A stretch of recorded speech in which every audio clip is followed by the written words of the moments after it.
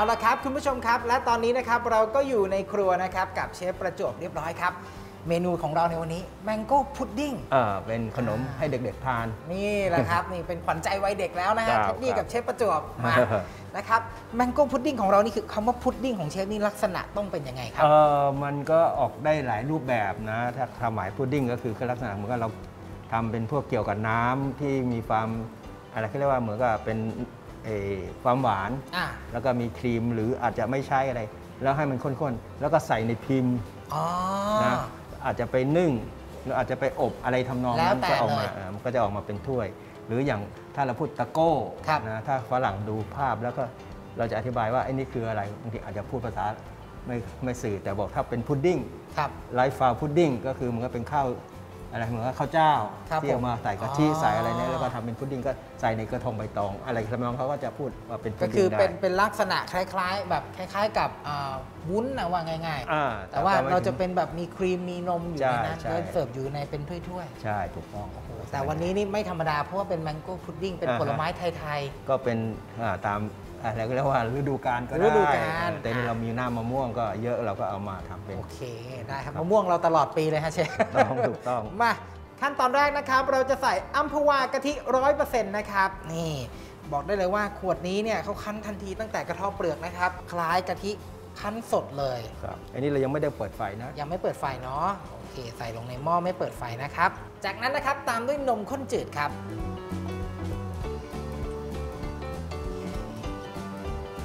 ก็จะได้แบบรสชาติแบบฝรั่งฝรั่งหน่อยเนาะครับ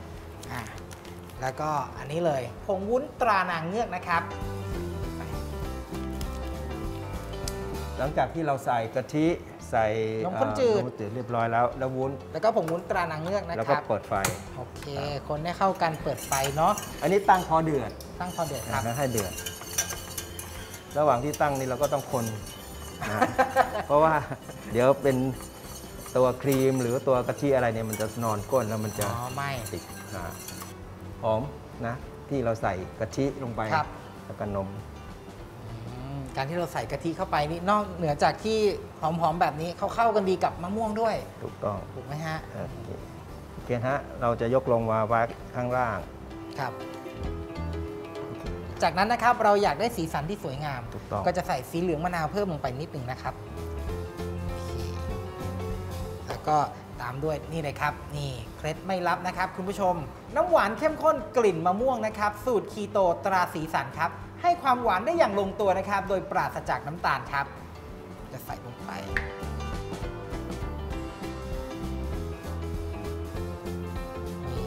ได้ทั้งความหวานนะครับ แล้วกลิ่นหอมๆจากมะม่วงเลย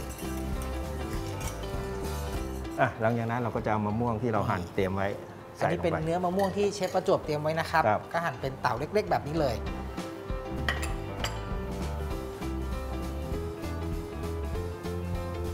อื้อหือหลังจากนั้นเราก็จะหาภาชนะครับนะจะเป็นแก้วมีก้านนะอาจจะเป็นถ้วยพอดีพอดีอะไรแล้วแล้วแต่ที่แต่เลยไอเดียของเราครับโอเคเดี๋ยวเราก็จะตักแมงโก้พุดดิ้งเนี่ยใส่ลงไปในถ้วยได้ครับ อันนี้เราก็สามารถที่จะใส่ในพิมพ์นะหรืครัอบในถ้วยหรือ ภาชนะที่เราเตรียม แต่วันนี้เราเตรียมถ้วยแก้ว จะได้เห็นแบบสีสันข้างในด้วยโอ้อืมเขาเริ่มแบบว่าดูเริ่มข้นแล้วนะอาจจะข้นด้วยตัวเนื้อมะม่วงด้วยนะเชฟนะมีส่วนครับ แล้วแล้วเราก็จะทิ้งไว้ให้เย็น แต่ตอนนี้เนี่ยคือผมอยู่ตรงเนี้ยหอมมากๆ คือคุณผู้ชมต้องลองทำตามจริง ๆนะแล้วง่าย ๆเลยนะฮะส่วนผสมไม่กี่อย่างตั้งไฟแป๊บเดียว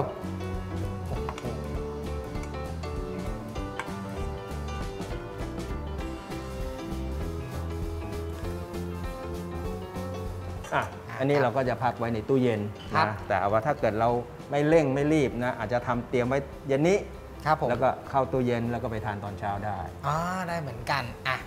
เดี๋ยวเราพักทิ้งไว้ให้เขาเซตตัวนะครับครับเอาละครับคุณผู้ชมอันนี้คือมะม่วงพุดดิ้งของเราที่เซตตัวแล้วที่เก็บตัวเย็นโอ้โหดูนุ่มเนียนมากโอเคกินมาก ต่อไปนี้ถึงเวลาต้องมาทดสอบกันนะครับชิมดู โอเค เราก็จะใส่นมนี้ ตอนเสิร์ฟนะคุณผู้ชมนะ เราก็จะราดด้วยตัวนมข้นจืดด้วยมมันก็จะมันๆหอมๆนะแล้วก็ต้องมีมะม่วงสกู๊ปสักลูกหนึ่ง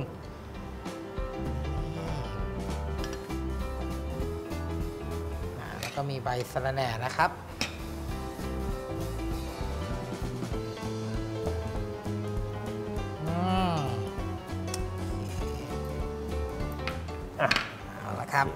พร้อมเสิร์ฟเลย อันนี้เราก็จัดให้สำหรับ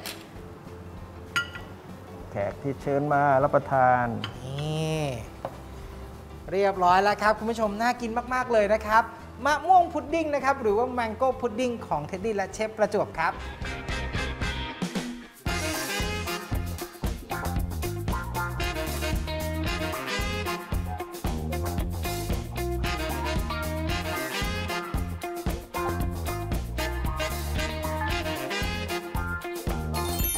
และสำหรับกูรูมืออาชีพในช่วงหน้านะครับ ยังมีของดีๆมาฝากกันอีกเช่นเคยนะครับ ติดตามชมกันนะครับ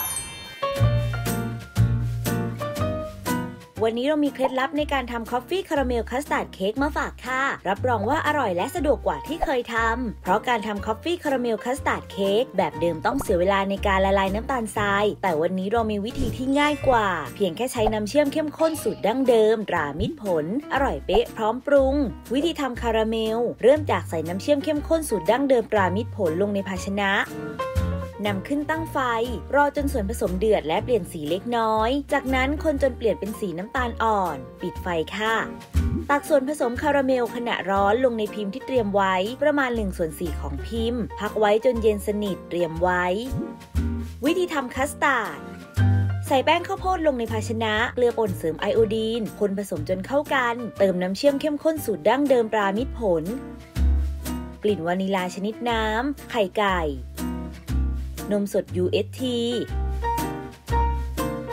คนจนส่วนผสมเข้ากัน จากนั้นกรองผ่านกระชอนเตรียมไว้ค่ะ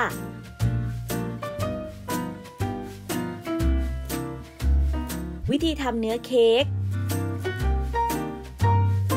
ละลายกาแฟกับน้ำเย็นเข้าด้วยกันเตรียมไว้เป็นน้ำกาแฟ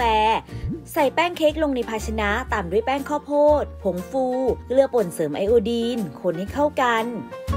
เติมไข่ไก่แช่เย็น น้ำเชื่อมเข้มข้นสูตรดั้งเดิมปรามิตรผลวานิลาชนิดน้ำ สารเสริมสำหรับทำเค้กสปัน ตีจนส่วนผสมขึ้นฟู เติมน้ำกาแฟ ตีต่อจนส่วนผสมขึ้นฟูอีกครั้ง ลดความเร็วต่ำประมาณ 1 นาที ตีจนส่วนผสมเนียน ใส่เนยสดชนิดเค็มละลาย